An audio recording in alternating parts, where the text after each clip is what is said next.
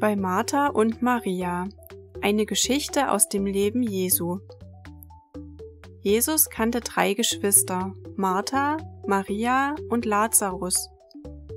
Eines Tages besuchte er die drei. Martha war damit beschäftigt, Essen zuzubereiten.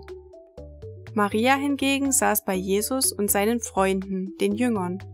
Sie hörte zu, was Jesus erzählte.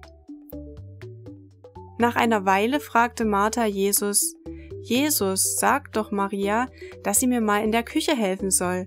Sie sitzt ja nur untätig rum.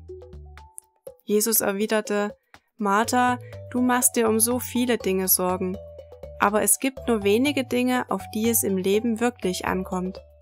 Maria hat sich dazu entschieden, von diesen Dingen zu hören, und davon werde ich sie nicht abhalten.